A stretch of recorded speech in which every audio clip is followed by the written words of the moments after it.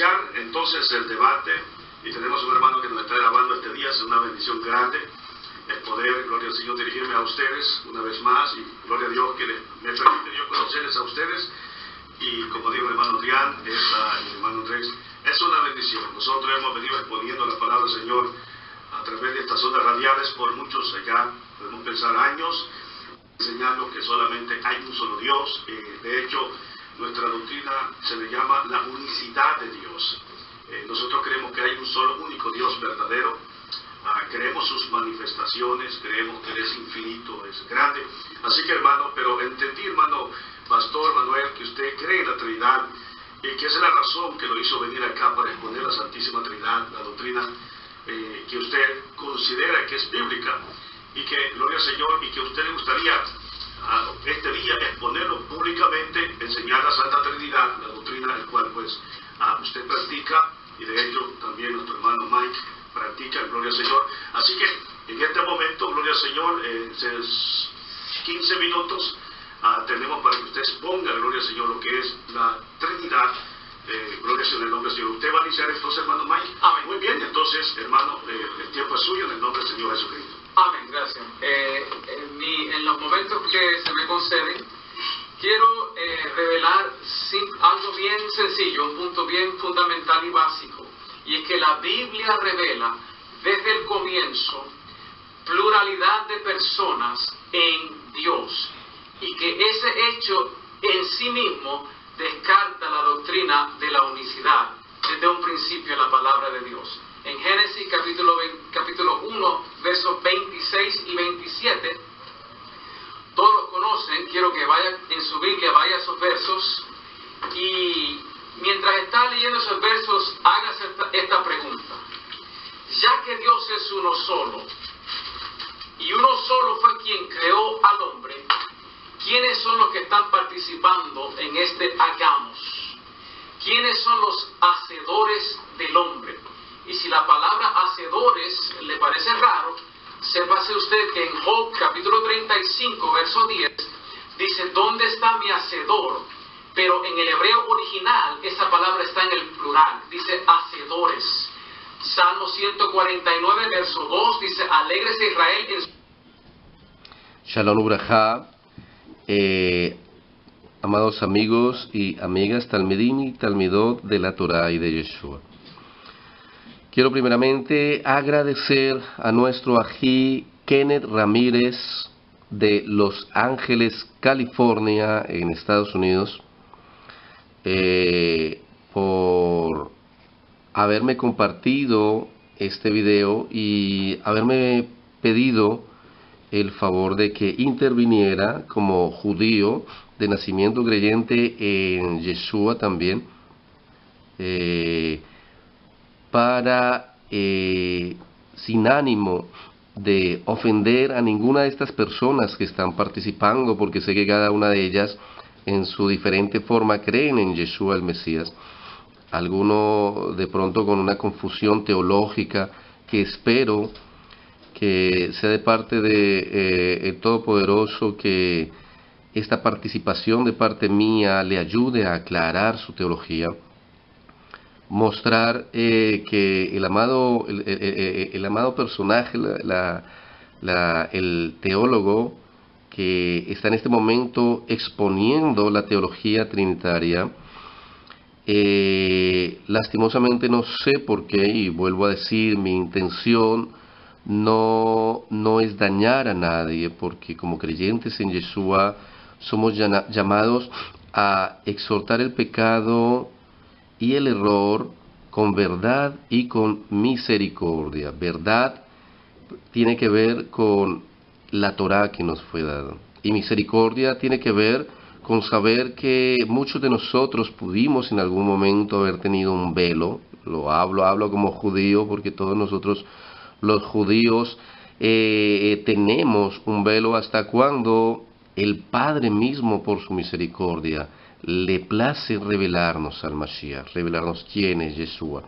Lo mismo sucede con todas las doctrinas que se desprenden de la buena intención de los hombres de interpretar textos de la Torah. pero precisamente aquí nos enfrentamos a una realidad que se ve todos los días y es la mala interpretación y el poder levantar textos eh, a través de los cuales eh, deseamos sustentar nuestra teología y nuestras creencias que son errados. Entonces, como eh, Baruch Hashem, como, como, como eh, hispanohablante que soy, pero a la vez también como hebreo hablante que soy y conocedor del idioma hebreo, ya que vivo en Israel y este video lo estoy haciendo desde acá, desde Israel, desde la Galilea, de la tierra del Talmud. Y eh, también desde aproximadamente 13, desde aproximadamente hace, hace 13 años que enseño el idioma hebreo como profesor de, de, hebreo que soy eh, y, estudioso profundo de, de, el idioma hebreo antiguo de la Torah, ya que es mi, es mi rama, eh, la exégesis de la, de la Torah desde mi idioma, del idioma de mi, de mi tierra, de mi, de mi pueblo, Israel. Eh, corregir con todo amor. Yo anhelo que de pronto estos, estos dos ajim, estos dos hermanos, que sé que de muy buena, de muy buena intención están defendiendo su, su, su posición eh, trinitaria, y también recordando a todos aquellos que el Padre misericordioso les ha revelado que Elohim, el creador del universo, es uno, solamente uno, entender que nosotros no debemos atacar, menospreciar, eh, ni discriminar a aquellas personas que no lo han entendido todavía. Y tomo palabras de Mashiach, de Yeshua, de mi Señor, donde en el libro de Yohanan Él nos dice, porque a nadie le he revelado el Padre, sino soy yo el que se lo revela, y nadie me puede conocer a mí, si no es el Padre, Él que le da la revelación de quién soy. Parafraseando.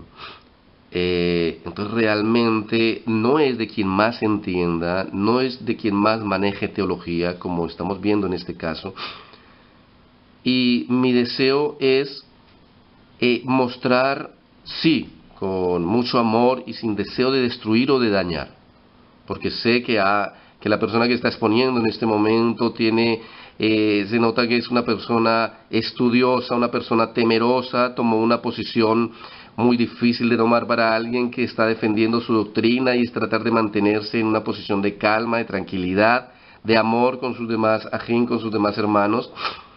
Pero sí, en el amor de Yeshua, yo quiero decirte a ti, si este video te llega, llega a tus manos, eh, un, grave error idiomático en el, en, el, en el cual se está basando toda tu teología y es en el error de, de entender ciertas palabras del hebreo como plurales donde para cualquier persona con un conocimiento mínimo de hebreo, o no hablemos de conocimiento mínimo de hebreo, sino para cualquier judío que habla hebreo, puede ser un niño de 5 años, al leer estos textos de los cuales estás hablando, nunca, nunca entendería algo en plural.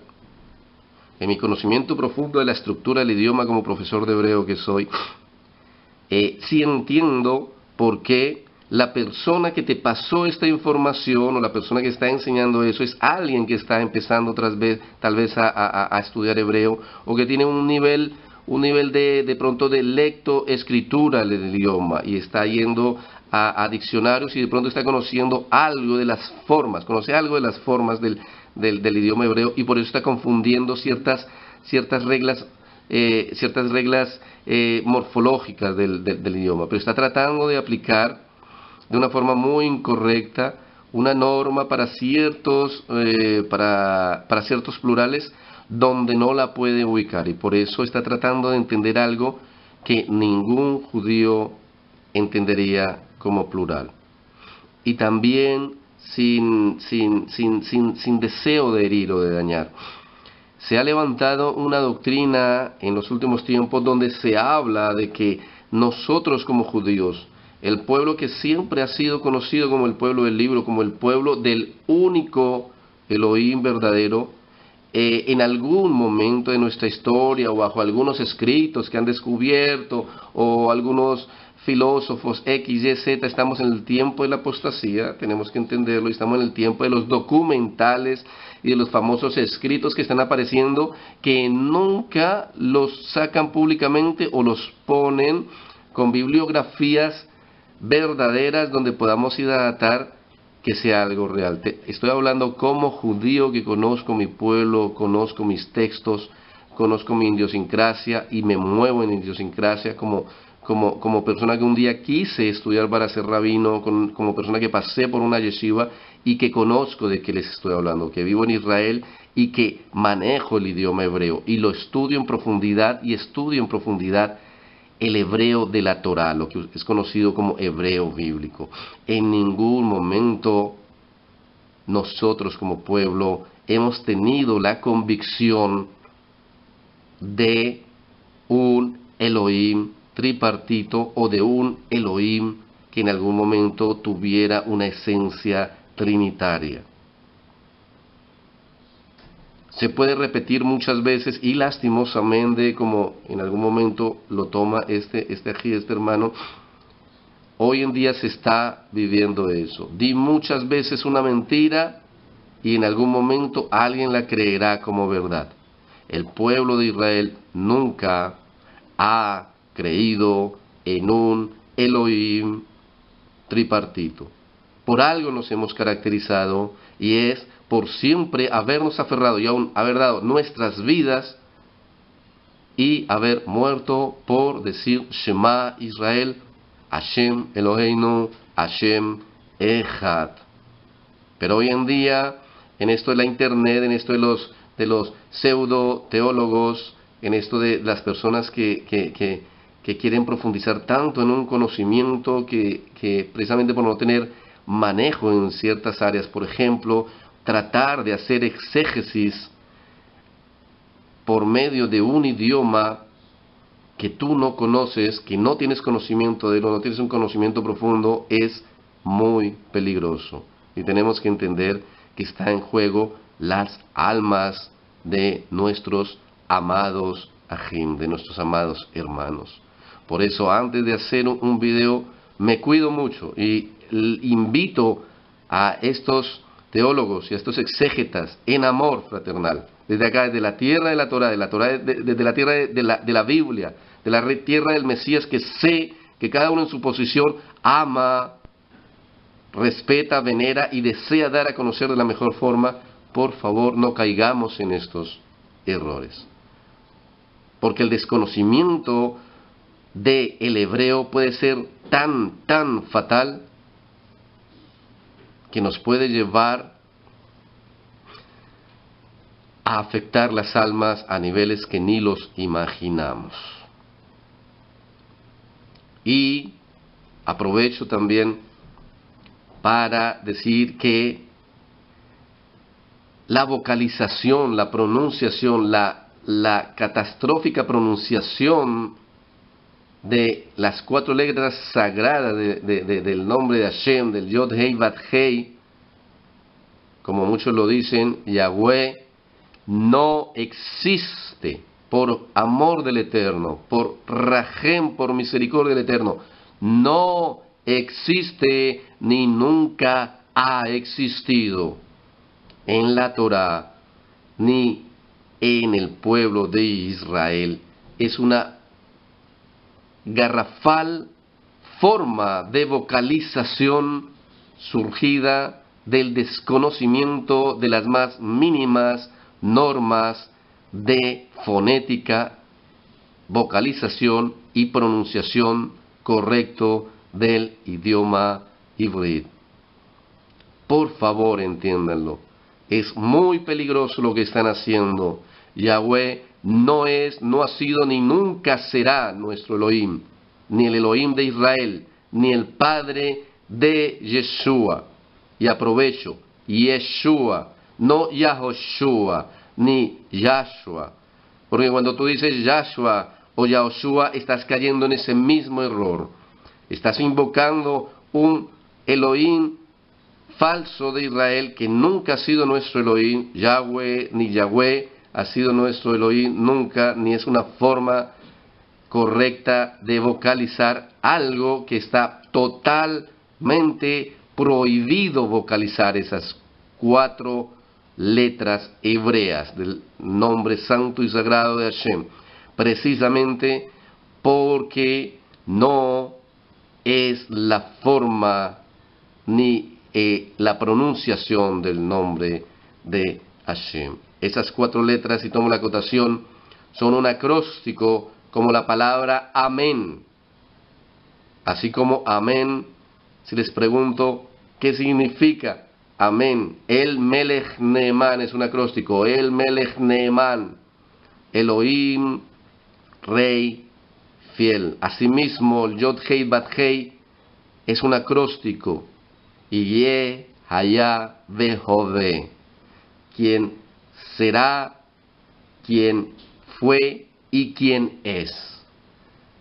Y por eso es que, por más de que aparece vocalizado en nuestros libros de oraciones, nunca, pero nunca verás a un verdadero Yehudí, a un israelí con un poco de conocimiento de Torah pronunciando o vocalizando en algunas de sus formas estas cuatro letras, que tienen que entender también que nuestro idioma, el idioma de la Torah, el, la Lashon Kodesh, el hebreo, nuestras propias letras son también números, y esas cuatro letras también representan un número, el 26.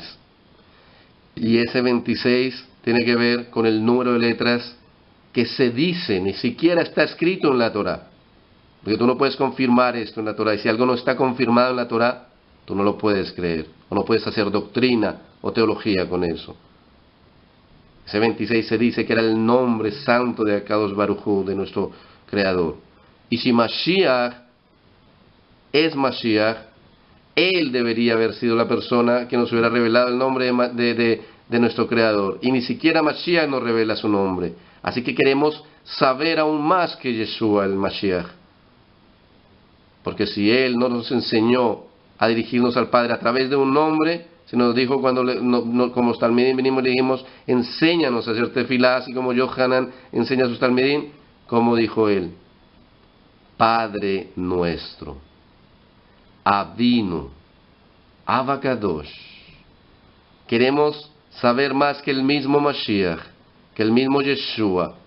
Queremos enseñar cosas que Él no ha enseñado. Y por favor, en Internet, en YouTube, tú encuentras muy buenos cursos de hebreo. Pueden contactarse con nosotros. Estamos desarrollando en este momento un curso gratuito de hebreo por, por YouTube. Curso hebreo fácil de Torah High en Israel. Gratuito, precisamente para que no caigan en este error garrafal de estar sustentando aún tu propia fe, aún de pronto, Haz de Shalom, el Padre no lo permita, la propia salvación de tu alma, y no solamente de tu alma, sino la de un redil, la de una keilah, la de una congregación, y eso es muy, muy delicado, por estar poniendo unas bases totalmente falsas. Y si tú hablas con cualquier rabino judío, si tú hablas con cualquier israelí, con cualquier hebreo parlante, te va a decir las mismas cosas que este Yehudí, que con sus propios ojos y para la gloria y el cabo de Hashem le fue revelado el Mashiach, porque no hablan con un neófito, sino con alguien que vio cara a cara el rostro de Yeshua, y por eso creo en él, y por eso hablo de él, y por eso lo hablo de él y lo muestro y lo mostraré en mi pueblo, en mi tierra, y creo con todo mi corazón en él como el Mesías, como el unigénito. Pero entendamos Elohim es uno, el mismo Yeshua lo dijo. Y estos textos, lastimosamente, y discúlpeme, perdónenme, amados ajenos, amados hermanos, pero tengo que exhortar con amor y con verdad. Los textos que ustedes dos, hermosos, preciosos, criaturas de Hashem, hijos de Hashem, en, en la doctrina trinitaria que por el momento entienden y creen correcta, está totalmente inconsistente, está totalmente errada bajo unos textos del profeta Job, de, de Eclesiastés, de, eh, de Teilim, de Salmos, totalmente incorrectos, totalmente mal traducidos y totalmente mal entendidos. Cada uno de esos textos, lastimosamente, que estás tocando, los has, los has aprendido mal y no dicen nada en plural. Quiero que sigamos viendo un poco de eso. En el nombre de Yeshua les pido perdón. No deseo dañar a nadie. No deseo, yo quiero que entiendan que mi deseo es de respaldar la Torah y de respaldar al Santo bendito Mashiach de Israel, Yeshua, nuestro Corbán, nuestro Cordero expiatorio, el unigénito de Hashem. Y a ambos grupos, a aquellos que se están esforzando también, aprender que no debemos atacar ni usar malas palabras contra aquellos que así como nosotros en un momento teníamos unas vendas, en este momento necesitan que esas vendas les sean quitadas no por nosotros, ni por nuestra teología, porque nosotros podemos estar en la teología correcta según nuestro criterio. Pero podemos ganar una contienda, una batalla teológica, pero perder dos preciosas almas. Amor, verdad y misericordia es como debemos exhortar. Pero también debemos ir a algo y es un poco de conocimiento puede hacer grandes estragos y aún llevarte a la perdición de tu alma. Pero un profundo conocimiento te lleva a la verdad. Invito a todos estos exégetas, teólogos que están surgiendo hoy en día, a que estudien hebreo. No es un idioma difícil, no es un idioma imposible. Tómate el tiempo de estudiar seis meses, un año, por favor. Hay lugares gratuitos les estoy ofreciendo un lugar gratuito. En Internet, en YouTube encuentran muchos lugares, pero por favor, no caigas en el grandísimo error de desviar gente, y desviarte tú mismo. Mi invitación en amor es a que sean humildes, a que sean sencillos y acepten esta exhortación, esta corrección. Están errados totalmente en sus textos. Tienen cosas muy interesantes. Y hay una revelación muy interesante que el Padre da en, esta, en este debate, tanto de parte de los que creen en Él como el uno solo, como de lo que hay en Génesis, en Bereshit 1, 1. El por qué aparece hagamos. Tiene que ver con que había un testigo, entiéndanlo, ese hagamos precisamente es porque Él nos quiere mostrar que había un testigo. El que Elohim es uno es algo indiscutible. Centrémonos en preguntarnos quién era ese testigo que estaba en ese momento allí. Y entendamos las escrituras. Porque así dijo Yeshua, erráis porque desconocéis la Torah, desconocéis las escrituras. En amor los exhorto a que reestructuren su teología, a que pidan excusas a las personas y acepten en el idioma hebreo estos tres textos que ustedes han dado en ningún momento hablan de plural.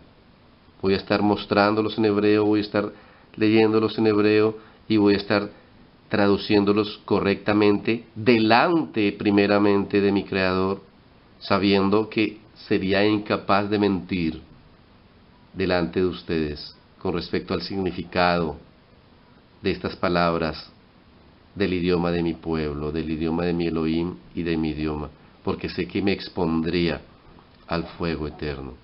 Pero sí con la responsabilidad de tener que hacerlo para que este error sea corregido. Y lo hago con todo amor, deseando que el Eterno quite el velo de cada uno de nosotros, porque cada uno de nosotros aún en ciertas áreas tiene velos, que si somos humildes y nos humillamos delante de nuestro Creador y lo pedimos por la preciosa sangre expiatoria de su unigénito Hijo, nuestro Mesías Yeshua, Él, si ve que lo hacemos, humillándonos y en humildad y sencillez de corazón, nos va a quitar todos los velos que necesitemos que nos sean quitados. Hago este video pues en el nombre de Yeshua, el Mesías de Israel, para que sea usado por el Padre sola y exclusivamente para bendición de cada uno de ustedes y de cada persona que vea este video. Beshen Yeshua HaMashiach. En el hebreo original, hacedores, está en plural esa palabra. Eclesiastés 12.1, acuérdate de tu creador en los días de tu juventud. En el hebreo original, creadores, no. Esos dos textos, en, en el hebreo original voy a mostrarles, no dice creadores, creador. Así como el, el texto anterior, lo mismo, no está en plural, amado hermano. Y les insto a todos a que lean los léxicos y escudriñen bien estas cosas para ver si son ciertas, porque los unicitarios no tienen respuesta a estos fenómenos de pluralidad en Dios que se encuentran en el hebreo original. En otras palabras, no existe ninguna razones ni gramaticales ni contextuales para este fenómeno de pluralidad en Dios. Es sencillamente lo que los antiguos hebreos sabían y creían de Dios. Y eso que acabas de tú decir, que es lo que los antiguos hebreos sabíamos y creíamos de Elohim, es absolutamente falso. Es una mentira que en los últimos 20 años se nos ha querido levantar, pero no conozco el primer rabino. Les estoy hablando que en su tiempo yo fui un Hasid que pasé por una yeshiva y anhelaba ser rabino, viví en Jerusalén y conozco en profundidad de qué les estoy hablando. Conozco en profundidad el judaísmo y me muevo entre rabinos y me he movido entre rabinos y no conozco el primer rabino que sea capaz de decirte que existe algo como eso, ni conozco el primer texto real que llegue a hablar de algo así.